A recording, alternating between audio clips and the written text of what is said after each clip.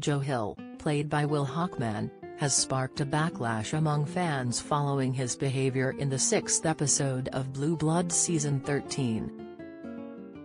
CBS viewers witnessed cracks throughout the Reagan family in the episode, whether it be Joe clashing with his aunt Erin, Bridget Moynahan, or brothers Danny, Donnie Wahlberg, and Jamie, Will Estes, locking horns over a case.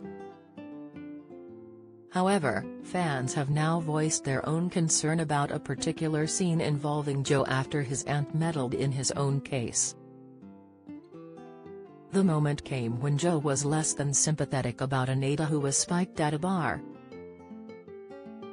Beforehand, Erin wielded her power in the DA's office to interfere with one of Joe's cases and it was clear the aunt and nephew duo weren't going to let it go without taking it personally. Even though Erin managed to secure extra charges against Joe's suspect, his short temper came out on Trump as he felt undermined. Plus, Erin only added fuel to the fire by taunting Joe that his late father would have been ashamed of his behavior, which inevitably touched a nerve in the cop. However, despite his annoyance, fans aren't happy with his behavior towards an ADA who ended up embroiled in the case. The ADA was left in a perilous condition after being spiked at a bar, although Joe lacked sympathy due to his reliance on alcohol. Joe implied the ADA shouldn't have let himself be caught out in such a situation. Taking to Reddit, Blue Blood fan slash Lifine Wentworth was the first to vent their fury at Joe's dialogue and how it could be construed as victim shaming. They fumed, in 13 by 06. The DA who got spiked, regardless of his shady dealings, is sitting at a bar and talking to a woman who spikes his drink and Joe's reaction is he shouldn't have gotten himself into that situation. What situation? Yes he was an alcoholic but that doesn't mean he can never go to a bar again and chat up a woman. And that if he does he deserves to get spiked. TF kinda thinking is this, Sounds a lot like she shouldn't have worn that dress slash been out that late etc. But nobody calls it out because it's being said about a male. Joe PD me off a lot this episode actually but this was really uncalled for and only increases the stigma about males being victims of crimes. This was echoed by a number of the Blue Bloods fandom who took to the thread, including you slash Miss Sakyeva who added oof. Glad that I wasn't the only one that caught that. I paused the TV and sat for two minutes wondering if Head really said that.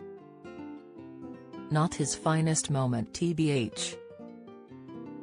Elsewhere, you slash Kagai 1955 raged, the whole episode exposed what a holes they can be. If Danny had his petulant fits with a higher-ranking officer who isn't his little brother he'd find his ass out walking a beat in a uniform.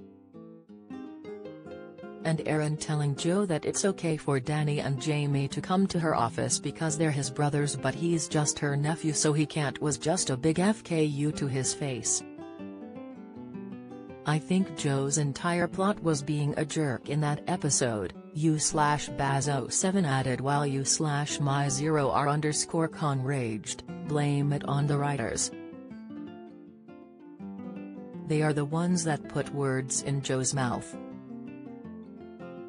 Meanwhile, u slash Reggie underscore Barkley took aim at the show's bosses as well, the writing, to me, has been poor this season, almost jumped the shark bad. This episode was merely people acting out of character to move the plot. I can't ever imagine myself being so rude to my aunt and I know her fairly well. Whether the writers will implement a lighter tone to the Reagan family's conflicts remains to be seen.